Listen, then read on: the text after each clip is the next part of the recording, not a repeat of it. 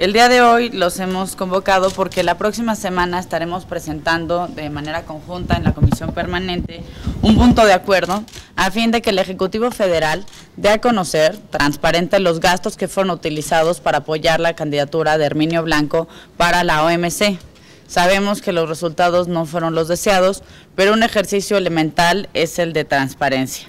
Como ustedes bien saben, el día de ayer, que quien fue recomendado fue el brasileño Roberto Carvalho para que el Consejo General lo nombre director general de la Organización Mundial del Comercio, la OMC, a partir del primero de septiembre de este año.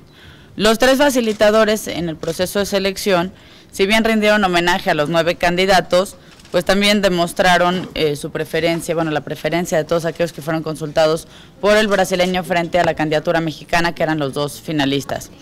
Un tema que para nosotras es muy importante es ¿Qué recursos públicos fueron utilizados para apoyar esta candidatura? En un ejercicio de elemental transparencia, creo que todos los mexicanos tenemos derecho a saberlo. ¿Qué tipo de recursos, recursos humanos, recursos materiales, qué tantos esfuerzos fueron destinados por parte de la Cancillería o del Gobierno federal en su conjunto para apoyar esta candidatura? Sabemos que fue una candidatura de por lo menos tres meses que tuvieron de plazo para darse a conocer entre los miembros y participar en los debates pertinentes a los temas de la organización. También sabemos que por algunas declaraciones del señor Herminio Blanco, que fue apoyado por parte del gobierno mexicano, que es natural, es una candidatura del gobierno mexicano, pero pues sí vemos que fueron 106 días de campaña en los que se visitaron, aquí la diputada tendrá más datos, pero se visitaron Turquía, Arabia Saudita, Países Bajos, Rusia, Polonia, Reino Unido, Dinamarca, Suecia, Bélgica, Francia, Senegal, Costa de Marfil, Nigeria, Alemania, Londres, Moscú, entre otros. Es decir, se supone que sí fue un recorrido muy importante con boletos de avión, con hoteles. Y cabe decir además, pues que ya se, se comentó este tema en algunos programas de radio, donde no se ha puntualizado cuáles fueron estos gastos del gobierno mexicano. Además, pues cabe mencionar, estos temas pues normalmente no es que vengan presupuestados, no es que venga una partida especial para decir vamos a apoyar la candidatura de México para la OMC. Entonces también quisiéramos saber qué rubros fueron pues descuidados, desatendidos o se les quitó presupuesto para moverlo a este tipo de partidas presupuestales. Si tenemos aquí un tema de... Eh, pues digamos, de querer hacer aquí más rollo por el tema de la OMC, que ya fue una decisión, sino por el contrario, de darle transparencia a este tipo de decisiones. Y también estaremos presentando la próxima semana y de manera conjunta una iniciativa para que el Senado mexicano pueda también tomar una decisión en estas candidaturas de México. Hay que recordar que el Senado, pues sí, tiene por definición constitucional una, enorme participación en materias de política exterior. Me parece que en este tipo de candidaturas no debe quedar excluido el Senado de la República. Diputada. Muy buenas tardes. Eh, por supuesto, muy complacida de estar aquí en el Senado de la República presentando ante ustedes, los medios de comunicación, este punto de acuerdo que de manera conjunta hacemos la senadora Gabriela Cuevas y una servidora. Debo decir que en la anterior legislatura presenté una iniciativa para que las candidaturas de México fueran candidaturas eh, del Estado mexicano, que se le notificase al Poder Legislativo, que se hiciera una estrategia conjunta. Y bueno, esta... Eh, esta propuesta fue rechazada, desgraciadamente, y ahora que estamos frente a esta elección que desgraciadamente México ha perdido frente a Brasil, debo decir que sí hay muchos elementos que habría que analizar. El primero es el monto en el que el Estado mexicano ha incurrido en la visita a más de 100 países del candidato y sus operadores políticos en esta elección, entendiéndose así como la embajadora, Lourdes Aranda y todo el despliegue que tuvo el Servicio Exterior mexicano. Lo queremos conocer en aras de la transparencia, queremos saber cuánto dinero cuesta una candidatura de esta envergadura y también para poder hacer los comparativos de cuánto dinero eh, se invierte, que en mi muy particular punto de vista debiese invertirse de manera institucional en el Estado mexicano para poder llegar a todos los países del mundo. Ayer comentaba durante mi intervención en la permanente que la decisión de México deba de ser de manera permanente estar en la escena mundial y buscar esos espacios de liderazgo que nos corresponden y que queremos ocupar eh, como nación en la representación de este hemisferio y creemos que la inversión debe darse de manera permanente para abrir más embajadas en países africanos, para abrir más embajadas en otros lugares del Medio Oriente donde no tenemos presencia y donde hay mucha concurrencia de embajadores que definitivamente no hay la posibilidad de cumplir al 100% con las tareas.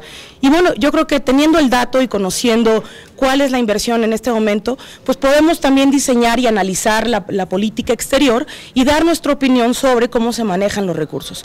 Eh, la Cámara de Senadores tiene su facultad del análisis de la política exterior, pero también la Cámara de Diputados tiene la elaboración del presupuesto y es ahí donde queremos intervenir.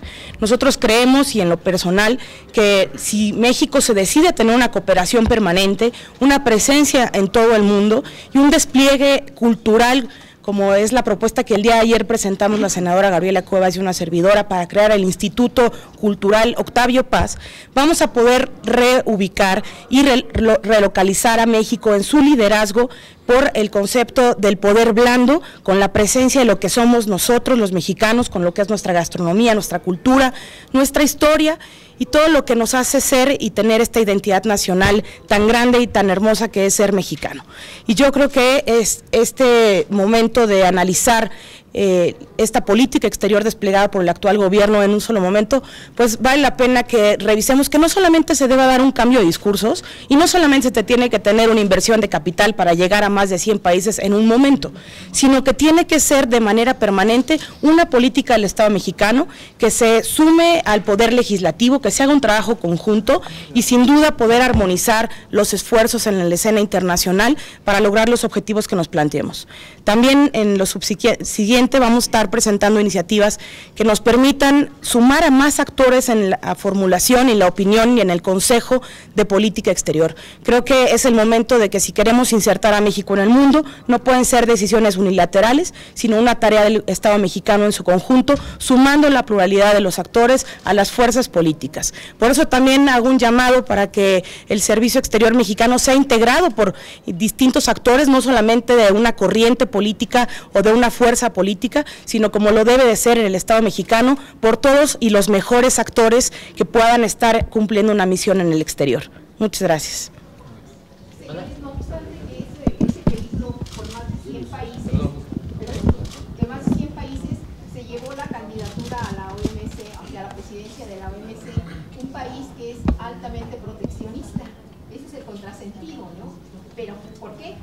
Embajadas en Medio Oriente, porque tiene embajadas en África sobre todo, y eso fue lo que influyó.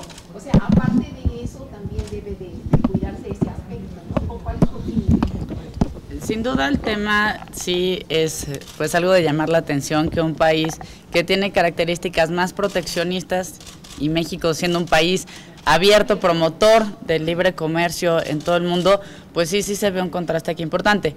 A mí me parece que el gobierno mexicano no le ha dado la suficiente fuerza al tema de política exterior. Por ejemplo, en la administración anterior sí vimos un impulso y un trabajo renovado con América Latina y el resultado es Alianza del Pacífico, que es uno de los acuerdos comerciales más importantes en la actualidad. Lo vemos también en voltear la mirada hacia Asia, donde el gobierno anterior también estuvo participando, hizo las gestiones necesarias y México pudo entrar a la negociación del TPP, del Acuerdo de Negociación Transpacífico. ¿Qué sucede ahora? Pues que vemos, por ejemplo, a pesar de que se aprobó en la comisión permanente pasada, en la de enero, un exhorto a todas las autoridades que conforman el Pacto por México para que incluya temas de política exterior, a la fecha no hemos tenido respuesta. Entonces, si bien hay quienes de discurso o incluso metiéndole dinero hablan de política exterior, la realidad es que el gobierno actual no le está dando la importancia que merece la presencia de México en el mundo. Es una realidad, tenemos mucho menos embajadas que Brasil. Sí tenemos eso, sí, y hay que decirlo, un montón de consulados, pero eso obedece mucho más a la presencia de conacionales en Estados Unidos. Pero nos falta, como bien se menciona, por ejemplo, tener un área destinada, una subsecretaría en la Cancillería destinada a Medio Oriente. Sí hace mucha falta abrir un número mayor de embajadas.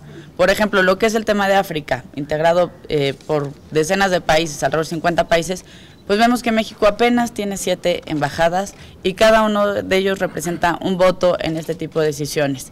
Me parece importante por eso, como lo hemos comentado la diputada y una servidora, que podamos conocer los recursos que se han destinado, qué proyectos se le restó recursos o cómo fue que se, se hizo esta partida presupuestal para apoyar esta candidatura.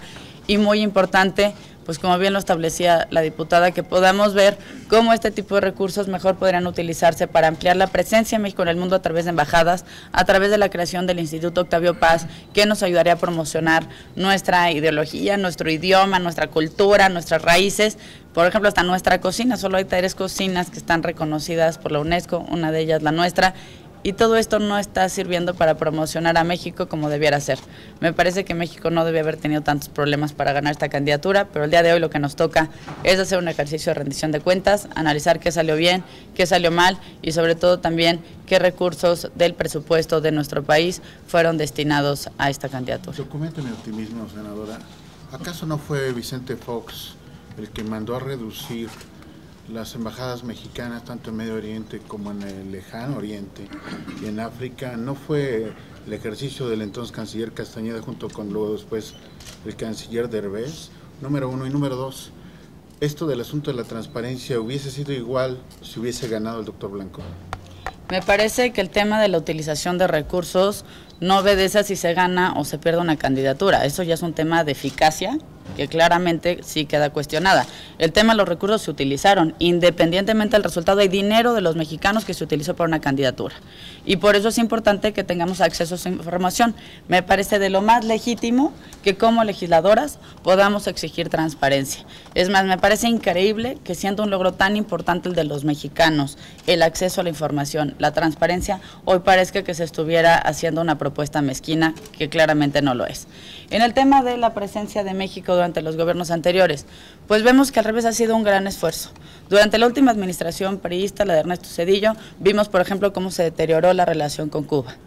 Y hemos visto cómo durante estos años, incluso el presidente Calderón realizó una visita de Estado a Cuba con muy buenos resultados. Se empezó a hacer una nueva negociación sobre el acuerdo de complementación económica.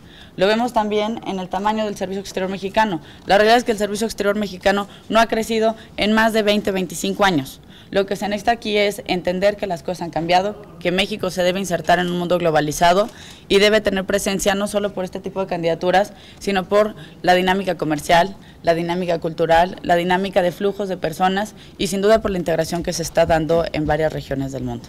Nada más para complementar, debería pues abogarse por un mayor presupuesto en diputados y por supuesto una mayor eficacia en el nivel para aumentar el número embajadores, no nada más de cónsules, sino embajadores en esta administración y darle mayor presencia a nuestro país. Así es, fue lo que comentó la diputada y creo que ya debe hablar al respecto del tema. Con mucho gusto. Lo primero que diría es, yo estoy convencida que tenemos que incrementar el presupuesto eh, para la Cancillería en tres rubros. El primero, para abrir más embajadas en el mundo, no solamente cubrir los países del G20 y los que tienen economías importantes, sino todos los países. Hay que darnos cuenta que el mundo ya cambió y el multilateralismo es lo que vendrá en la gobernanza del siglo XXI y hay que atenderlo. El segundo rubro en el que yo destinaría recursos creo que sería el tema de la agencia de cooperación, a través del cual podemos llegar a esos países que son de renta media y de renta baja, países que están ubicados en no solamente en el continente americano, en Centroamérica, en el Caribe, sino también en África y parte del Medio Oriente. Estoy convencida que ese es un instrumento que ya le damos al Poder Legislativo, al Ejecutivo, para que lo aproveche y pueda llevar la presencia de México a todos los rincones del mundo, solo que hay que dotarla de recursos. Y tercero, a través de lo que es el soft power, que es conocido con esta diplomacia que tiene una eh, influencia de manera blanda eh, sobre otras naciones, sobre otros actores, y en eso juega un papel muy importante también eh, los diversos actores como es el Poder Legislativo. Yo creo que en esos rubros debemos incrementar el presupuesto y sin duda alguna poder hacer de manera eficaz pues estas candidaturas y estas propuestas de México y llevarlas con éxito. Yo debo decir que en los últimos años el Estado mexicano ha ganado candidaturas, eh, por ejemplo, en el Consejo de Seguridad en dos ocasiones y también ganamos la posición en la OSD con José Ángel Gurría al frente de esta organización, lo cual quiere decir que nuestra relación, eh, digamos, con los países más importantes en cuanto a su... Eh, crecimiento económico y la dimensión de su Producto Interno Bruto es muy buena. Y creo que justamente eso se reflejó ahora en la votación de Herminio Blanco, en donde se reconocen los países más importantes por sus economías que estuvieron apoyando la candidatura de México. Justamente es es en los países de renta media y de renta baja en donde no obtuvimos el apoyo. Son esos países donde no existe la representación mexicana, donde no llegan las exposiciones culturales, gastronómicas, eh, de artes plásticas en general, por ejemplo, de nuestro país. Y es ahí donde hay que atender y es ahí donde tenemos nosotros que poner nuestro esfuerzo en la cooperación, en el intercambio cultural y la presencia de misiones, ya sea de manera única como nación o compartida con otros países, pero no podemos obviar nuestra presencia ahí.